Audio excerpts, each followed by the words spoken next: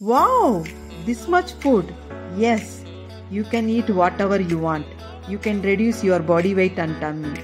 No diet, no exercise, no side effect.